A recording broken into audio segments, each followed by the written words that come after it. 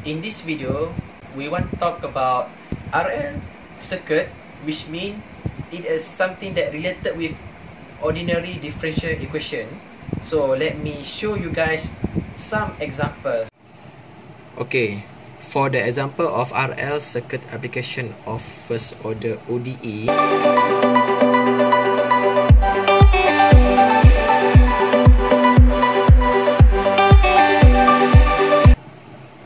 Is I, T and E, T, L.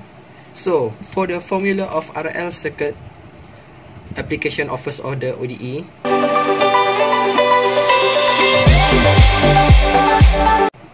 So, after this, we must find what the problem statement is it. And the problem statement will continue with my friends. So, this problem statement, we use uh, first order of ordinary differential equation to solve the problem of electric circuit by using the L di over dt plus Ri equals to Et where L and R are constant. And then so the the problem statement is the given is 12 volt and 6 ohm. Okay, uh, today we want to do some application for the first order differential equation and then we use the electric circuit. So from this diagram, we have a 12 volt that connect to the 1 over 4 H and 6 of resistance. So in order to determine of the IP is given the initial condition is uh, I 0 equal to 0. So in order to determine IP, we have to use this uh, power series equation, which is F multiplied by di dt plus Ri equal to delta. So from this equation, we substitute the information given into the equation, which is 1 over 4 di over dt plus ci equal to 12. Okay, in order to make coefficient equal to 1, we have to multiply both sides with the value of 4. So we get di over dt plus 24i equal to 48. So from this equation, we know that this equation is a linear differential equation. So we have to find the uh, integrating factors using the linear differential equation.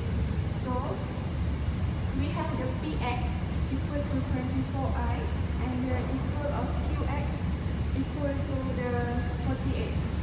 So uh, to find i in terms of t, we get uh, exponent uh, the power of the integrate 24t.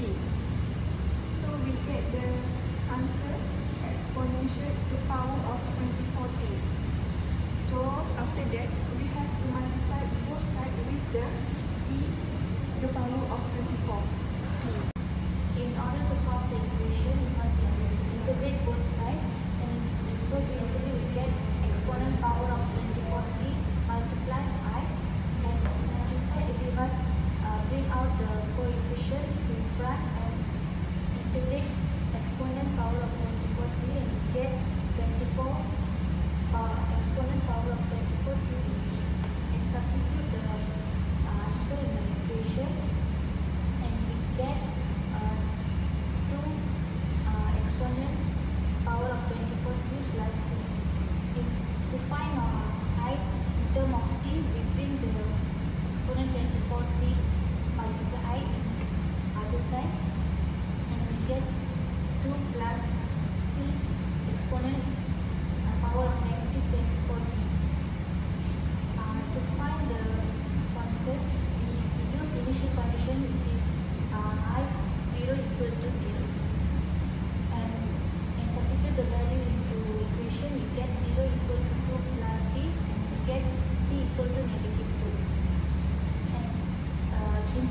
the final equation which is that 2 minus 2 power exponent power of negative 24 The order of differential equation represent derivative involved is n is equal to the number of energy storing elements and differential equation considered as ordinary. Using first ordinary differential equation in LR circuit, we can find the current and voltage in the circuit when inductance or capacitance and resistance are given. The starting model for the circuit is the differential equation which when solved Give an expression of the current in the circuit as a function of time.